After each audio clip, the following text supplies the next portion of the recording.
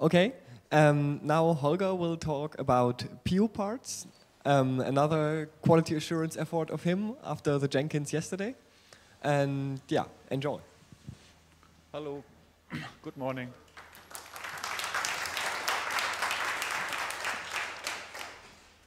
Thank you. Um, I will talk about piuparts, what piuparts is, the development status and plans for the future. Um, I, am maintaining piuparts since 2006 or rather 2007. I was root on the piuparts Debian org machine before I was a DD. So in case I just tell this as an example, the DSA is quite more flexible than it seems. Um, how many of you had bugs filed by piuparts against your package? How many of you had uh, received false positives? Only, oh, okay, quite some. How many of you have filed bugs against piuparts? Okay, cool, thank you. Um, so Debian is defined by the Debian policy, which describes what is expected from and piuparts test against the policy. Um, Lintian just looks at the sources and to find problems from there, and piuparts actually installs the package. Um, um, it finds um, problems during installation. Sorry, we gave you the one which, which is apparently a bit broken or okay. stuff. That was actually a good one, but now it's breaking. Whatever. this says prefer the other mic. Well, we are so happy. Better? Yes, better now? Yeah. Dead.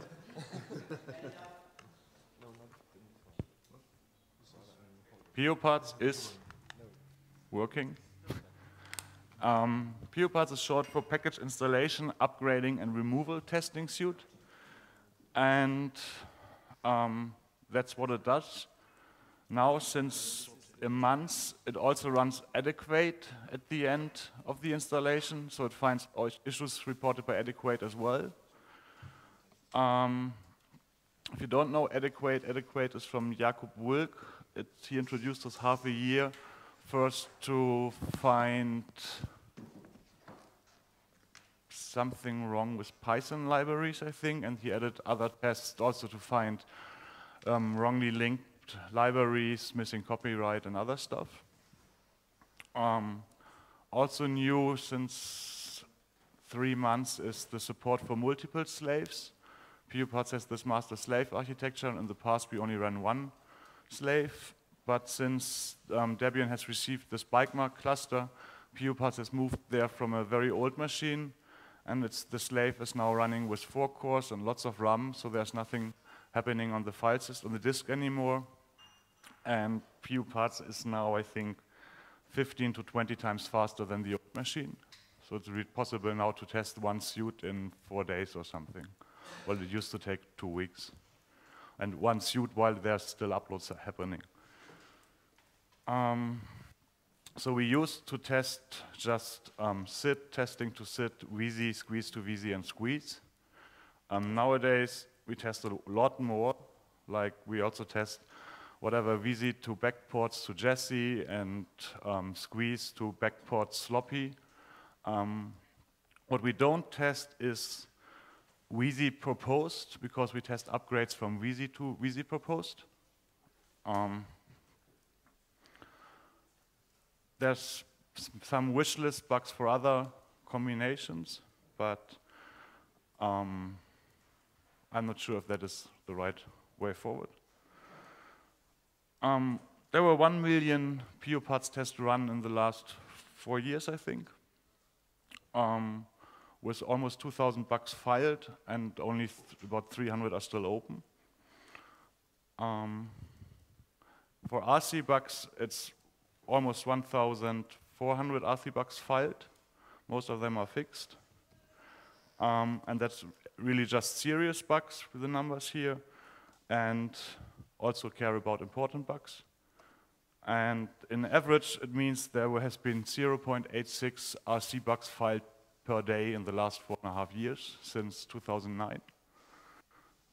Um, I think that's pretty impressive. And also impressive is the current status of Jessie, which is, so this is,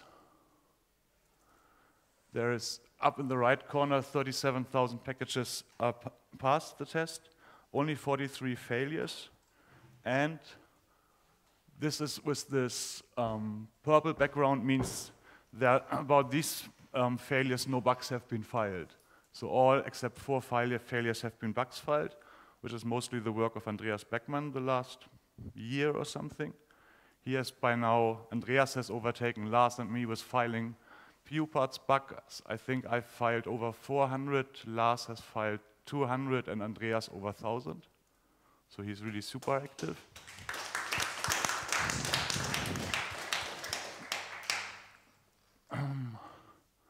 And for Wheezy, it looks even, well, that is Wheezy proposed. So this is Wheezy, where basically all green and only six failed blocks in Wheezy. Wheezy proposed looks completely green because we only started it testing after Wheezy was released. And there are eight um, failures instead of six in Wheezy. SID looks a bit worse. There are some bugs not filed, and there's in total 200 failures. That's because we are test more things in SID.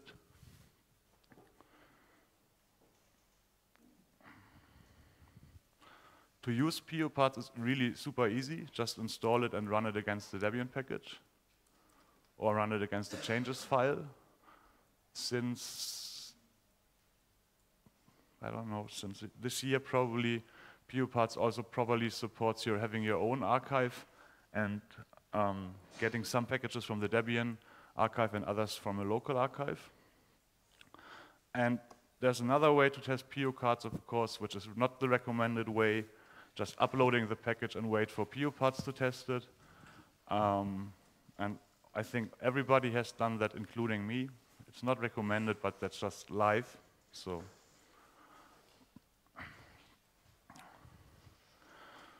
Um, originally, piuparts was written by Lars Wirzenius, but he's dropped out six years ago. Now it's mostly Andreas Beckmann, Dave Steele, and myself. There's not been many committers, like eight in total since 2010. And there was a new committer yesterday, and hopefully you will be the next. Um, I really like to take patches.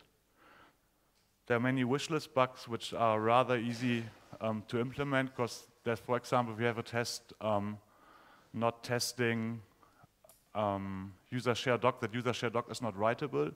According to policy, that should be possible. Um, that test we have, another test we don't have is the same with user local. So if you're interested in that, um, to test how packages behave as lo user local is not writable, you can um, learn from this user share doc um, test. Um, we have a mailing list, piuparts list on Alioth. I also read Debian QA, so in principle I don't care on which list it is. Sometimes it's better on the QA list because it might be more suitable for Lintian tests or other tools, um, or just use the Q Debian QA IRC channel. Um, piuparts is maintained in Git. Um, if you want to work on it, check out the feature branch, please, or create a feature branch based on develop. Uh, and make your changes and send a pull request or file a bug. We use master for releases, um, develop for the daily development, and the piuparts Debian org instance usually runs the same code as developed just when some bigger code, code reorganization happens, I switch off in the bike shed branch and use that for um, the Debian org setup. But normally it's really the same as develop. the roadmap is not really a roadmap. There is a huge to-do with ideas in Git, and we look at important or higher bugs. But in general, wishlist bugs are really ignored because there's other stuff to do. And There are some wishlist bugs I really would like to see fixed, like piuparts used to have a unit test suite and it has rotten, so it's just disabled at the moment. So if someone of you is into unit tests, I would be very happy to have this um, brought up usable state again. The other thing is have an archive with known good and bad packages, which piuparts can test, and so we can confirm that it still detects the same failures it used to detect. If someone is interested in keeping broken packages, this is a good opportunity. Um, there are some things, wishlist bugs, um, which I don't care about, but I know other people care about. Um, there's the extra test for init scripts. I'm personally not interested in testing init script or spending time on it because I think they need to go away. But I'd happily take the patch if someone wants this. CowBuilder support I've also not implemented because running on a um, temp file system in RAM is fast enough for me. LVM support the same. Um, what the other bug I really would like to see is this make piuparts run without um, root privileges. That's possible with current schroot um, tool. The DSA has done a similar thing with their chroot setup on Porter machines. So, and in fact, this LVM support has been fixed in 2009. I just keep thinking it's not implemented. Um, so if you care for your stuff, please submit patches. during this DebConf and before there has been talks about having piuparts run before accepting a package in the archive. Um, the other option would be to run piuparts or to use piuparts to prevent testing migration. Um, I think it would be better to run it before accepting a package in the archive, but maybe it's easier politically to get it inside the testing migration. Um, then the other thing, piuparts currently only tests AMD 64. Um, I don't think it's feasible at the moment, maybe later with more hardware, um, to run it on the whole archive for all the suits. As a first start, I would like just like to test those packages which are not available on AMD 64 and other architectures, which are just a few packages. And there are these um, some errors detected by piuparts which not cause of piuparts failure, like broken symlinks is one, and also some adequate issues, which I think should be promoted to piuparts failure status. But I don't think the Debian, uh, the Debian, the piuparts maintainers should decide that themselves, but rather um, the Debian community must define what's a critical error, unless it's obvious from policy or from the behavior. What do you want?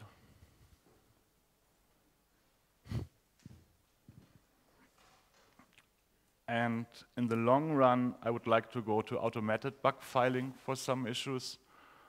Um, but partly Andreas has been too, too productive in filing bugs, and partly I fear the problems with having automated bugs, um, and I'm overworked. that was it about. Thank you for running piuparts and for caring about the results. And I'd like to hear some feedbacks, ideas, comments.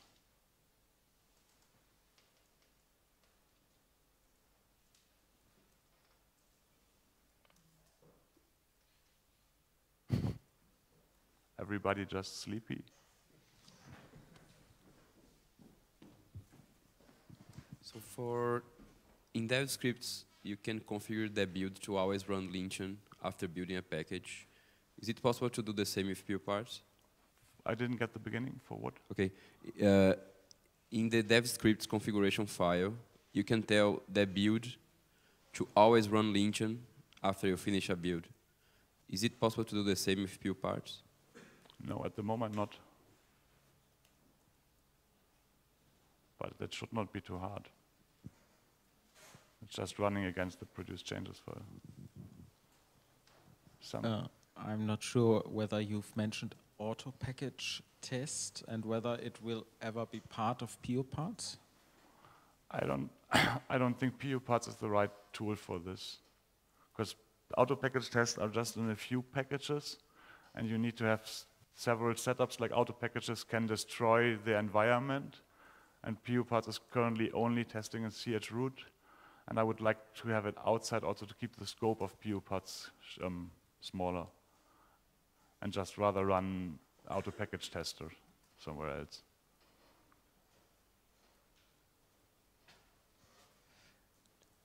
Have you ever thought about um, running piuparts as a Jenkins shop? I've thought about it and came to the conclusion it's not useful.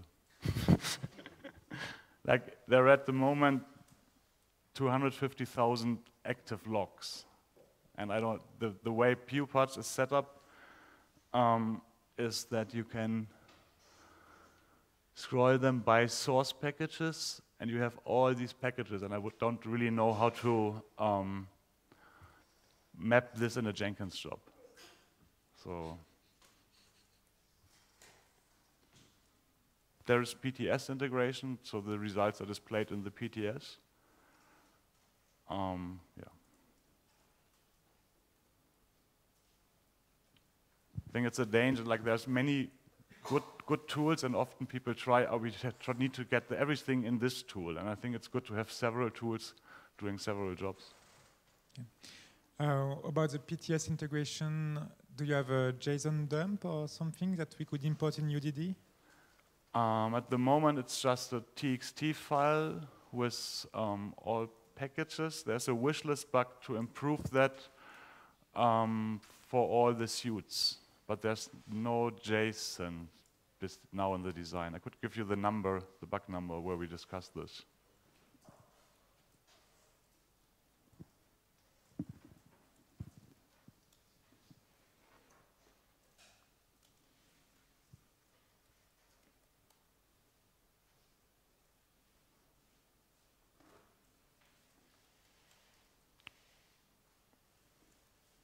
Are there complaints about PO parts?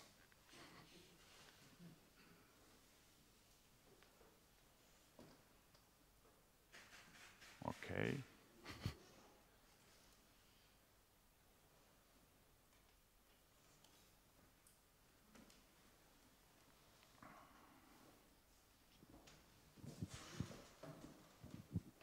So I must admit I'm one of the guys who's just uploading and then checking piuparts afterwards. Um, how, how much do Lintian and piuparts overlap or, or do completely different things? I'm not quite clear on that or, already. They overlap a little. Like Lintian also detects missing copyright files and piuparts detect them. But there are many, or Lintian just looks at the source code and some problems are not, cannot be as well detected by just installing it and comparing the system before and after. So they complement each other. Okay, thanks.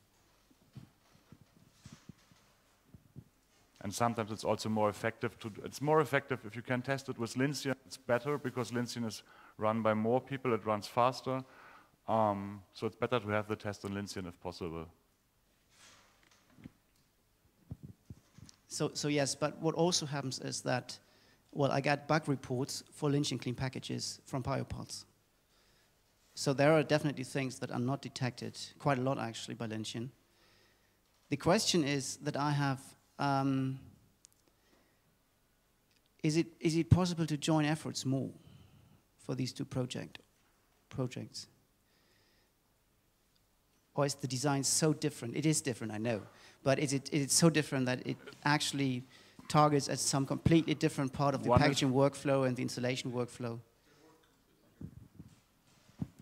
They really work completely differently because Lintian is, in effect, unpacking a source package and looking at its contents and doing pattern matching sort of analysis to look for the presence or absence of various things, combinations of things that should or shouldn't exist. Whereas piuparts is, is actually sort of taking complete packages and installing them and looking at the consequences on a system. So it's actually very different machinery. I, I suppose in theory, piuparts could run Lintian as part of its process, but since it's really focusing on the installation and removal characteristics of binary packages, it's sort of a different data set, and it makes sense to me, at least conceptually, that they're separate efforts. And while there are some things, as Holger says, where they, they overlap a little bit in what they can detect, um, I, that's never actually bothered me. I mean, I've never sort of had different people complaining about the same problem in the same package at the same time, perhaps because I am much more careful about running Lintian on all my packages before uploading them in piuparts, but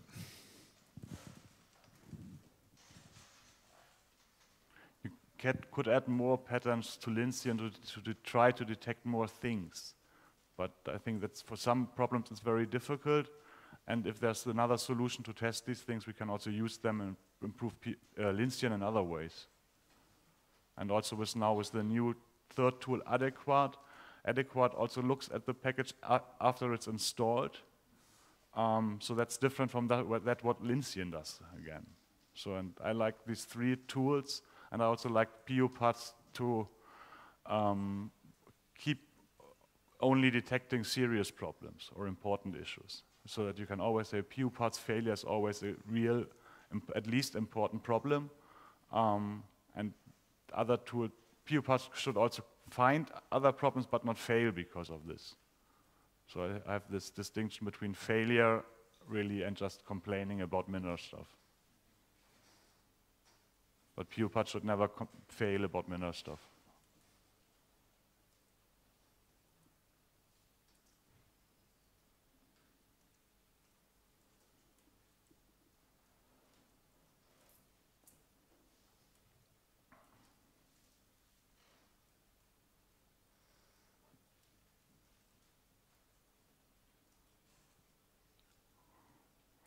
Well, if there are no more questions, we can go out in the sun or something. Yeah, thank you, Holger. Uh,